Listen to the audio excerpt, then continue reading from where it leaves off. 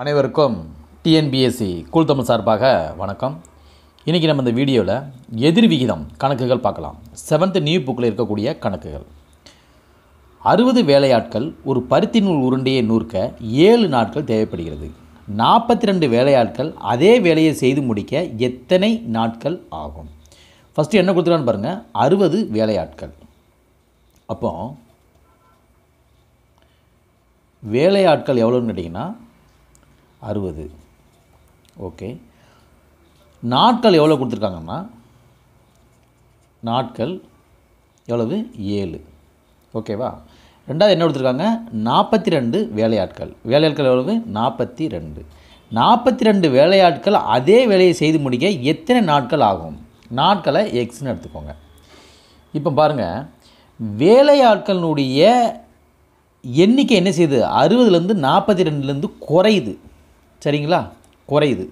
அப்போ அறுபது வேலையாட்கள் ஏழு நாட்களில் ஒரு வேலையை செய்து முடிக்காங்க அப்படின்னா அப்போ நாற்பத்தி ரெண்டு வேலையாட்கள் ஏழு நாளை விட அதிகமாக நாட்கள் போகும்? இப்போ அறுபது வேலையாட்களுக்கு ஏழு நாட்கள் அப்படின்னா அப்போ நாற்பத்தி ரெண்டு வேலையாட்கள் என்ன செய்யும்? இந்த ஏழு நாளை விட அதிகமாக தான் போகும். அப்போ வேலையாட்கள் எண்ணிக்கை குறையும் போது நாட்களுடைய எண்ணிக்கை என்ன செய்யும்? கூடும். கூடுச்சுன்னா அந்த மாதிரி ஒன்று குறைந்து ஒன்று கூடுச்சு அப்படின்னா அதற்கு பெயர் எதிர் விகிதம். சரிங்களா? எதிர் விகிதம் நீங்கள் செய்ய வேண்டியது டைரெக்டாக பெருகி போட்டு என்ன செய்யலாம்? கேன்சல் கொடுத்தீங்கன்னா ஆன்சர் வந்துடும் சரிங்களா? இப்போ அறுபது இன்ட்டு செவன் இல்லையா? ஈக்குவல் நாற்பத்தி ரெண்டு இன்ட்டு எக்ஸ் இது அடிங்க. ஓரேல் ஏழு. ஏழாறு நாற்பத்தி ரெண்டு ஓராறு ஆறு. பைத்தாறு அறுபது. அப்போது எவ்வளோ மீதி வருது? பத்து. அந்த எக்ஸுங்கிறது என்ன அப்படின்னா எத்தனை நாட்கள் அப்படின்னு நம்ம கேட்குறாங்க இல்லையா? அதை தான் நம்ம எக்ஸுன்னு எடுத்துக்கோம் அப்போ எத்தனை நாட்களில் முடிக்கிறாங்க? பத்து நாட்களில் முடிக்கிறாங்க. நாற்பத்தி ரெண்டு வேலையாட்கள் அதே வேலையை செய்து முடிக்க எத்தனை நாட்கள் ஆகும்? பத்து நாட்கள் டென் டேஸ் சரிங்களா? ரைட் ஓகே அடுத்த ஒரு கணக்கு பார்க்கலாம். ஒரு பெட்டி தக்காளியின் விலை ரூபா இரநூறு. வேந்தன் அவரிடம் உள்ள பணத்தின் பதிமூணு பெட்டிகளை வாங்கினார். ஒரு பெட்டியின் விலை ரூபாய் இருநூத்தி அறுபது என அதிகரித்தால் அவரிடம் உள்ள பணத்தை வைத்து எத்தனை பெட்டிகள் வாங்க முடியும்? சரியா?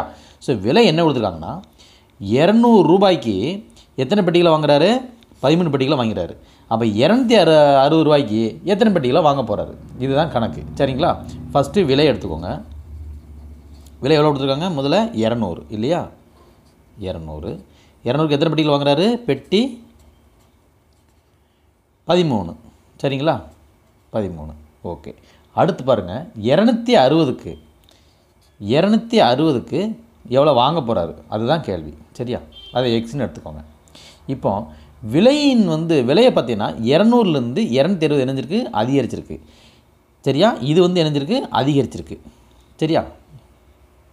அதிகரிக்கும் போது இப்போ இரநூறு ரூபாய்க்கு பதிமூணு பெட்டிகளை வாங்குறாருன்னா இரநூத்தி அறுபது ரூபாய்க்கு என்ன செய்ய முடியும்? குறைவான பெட்டிகளை தானே வாங்க முடியும். அப்படி இருக்கும்போது இது என்னது? எதிர் விகிதம். எதிர் விகிதம் நான் என்ன சொன்னேன்? டைரெக்டாக பெருக்கி அடிச்சிங்கன்னா ஆன்சர் வந்துடும் சரிங்களா? அப்போ இரநூறு இன்ட்டு பதிமூணு ஈக்குவல் டு இரநூத்தி அறுபது இன்ட்டு அந்த எக்ஸ் சரியா? இப்போ அடிக்கலாமா? ஒரு பதிமூணு பதிமூணு ரெண்டு பதிமூணு இருபத்தி ஆறு ஜீரோ இங்கே ஒரு ஜீரோ இங்கே ஒரு ஜீரோ ஒரு ரெண்டு ரெண்டு இங்கே ஒரு ரெண்டு. அப்போ எவ்வளோ இருக்குது பத்து. அப்போ இரநூத்தி அறுபது ரூபா அதிகரித்து அவருடைய பணத்தை வைத்து எத்தனை பெட்டிகள் வாங்க முடியும்? பத்து பெட்டிகள் வாங்க முடியும். சரிங்களா? எத்தனை பெட்டி? பத்து பெட்டி. ஓகேவா?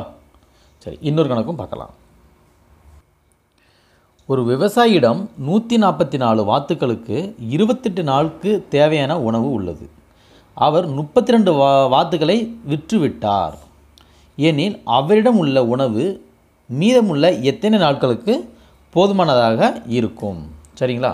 ஒரு விவசாயி நினைஞ்சிருக்காரு நூற்றி நாற்பத்தி நாலு வாத்துக்கள் வந்து இருபத்தி நாலுக்கு தேவையான உணவு வச்சுருக்காரு. அதில் முப்பத்தி ரெண்டு வாத்துக்களை நினைச்சிட்டாரு விற்றுட்டாரு எனவே மீதமுள்ள எத்தனை நாட்களுக்கு போதுமானாக அந்த உணவு இருக்கும் அப்படின்ட்டு கேட்டிருக்காங்க. ஸோ அப்போ வாத்து எத்தனை நாள் எத்தனை வாத்து கொடுத்துருக்காங்க? வாத்துக்கள் எத்தனை? நூற்றி நாற்பத்தி நாலு எத்தனை நாட்களுக்கு தேவையான உணவு இருக்குது நாட்கள். நாட்கள் வந்து பார்த்திங்கன்னா இருபத்தி எட்டு. இல்லையா? ஸோ வாத்துக்கள் நூற்றி நாற்பத்தி நாலு நாட்கள் இருபத்தி எட்டு. அடுத்து பாருங்கள் முப்பத்தி ரெண்டு வாத்துக்களை விற்று விட்டா ஸோ நூற்றி நாற்பத்தி நாலில் முப்பத்தி ரெண்டை கழிச்சின்னா எவ்வளோ இருந்து பாருங்கள் ரெண்டு ஒன்று ஒன்று நூற்றி பன்னிரெண்டு வரும். இல்லையா? அப்போ நூற்றி பன்னிரெண்டு வாத்துக்களுக்கு எத்தனை நாட்களுக்கு உணவு தேவைப்படும் அப்படின்ட்டு கேட்குறாங்க சரிங்களா? ஸோ இப்போ பாருங்கள் வாத்துக்களுடைய எண்ணிக்கை என்ன செய்யுது குறையுது. வாத்துக்களுடைய எண்ணிக்கை குறையும் போது நாட்கள் என்ன செய்யும்? கூடும் இல்லையா? நூற்றி நாற்பத்தி நாலு வாத்துக்களுக்கு இருபத்தெட்டு நாளுக்கு உணவு இருக்குது அப்படின்னா அப்போ நூற்றி பன்னெண்டு வாத்துக்கு என்ன செய்யும்? இருபத்தெட்டு இருபத்தெட்டு நாளோட அதிகமாக தானே இருக்கும். அப்படி அதிகமாக இருந்துச்சுன்னா ஒன்று குறைஞ்சி மற்றொன்று கூடுச்சுன்னா அது என்னது? எதிர் விகிதம் சரிங்களா? இதை நம்ம அடிச்சு போட்டால் ஆன்சர் உடனே கிடச்சிடும் சரிங்களா?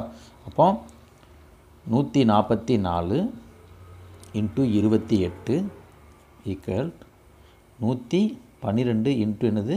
எக்ஸு அடிக்கலாமா? ரெண்டாவது அடிங்க. ஒரு ரெண்டு ரெண்டு நாலு ரெண்டு எட்டு. ஐ ரெண்டு பத்து ஆறு ரெண்டு பன்னெண்டு. இது என்ன அடிக்கலாம்?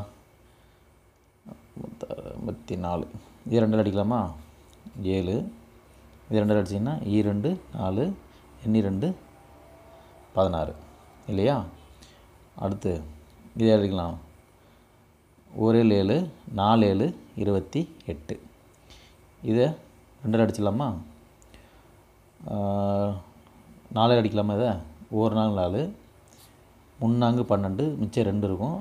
ஆறு நாள் இருபத்தி நாலு. அப்போ எத்தனை நாளைக்கு தேவையான உணவு இருக்கும் அப்படின்னா முப்பத்தி ஆறு நாளைக்கு உணவு இருக்கும். சரிங்களா? ஸோ முப்பத்தி ஆறு என்பது இதற்குரிய பதில். சரிங்களா? ஸோ பிடிச்சிருந்ததுன்னா மறக்காமல் ஒரு லைக் கொடுங்க. ஸோ தேங்க்யூ ஃபார் வாட்சிங்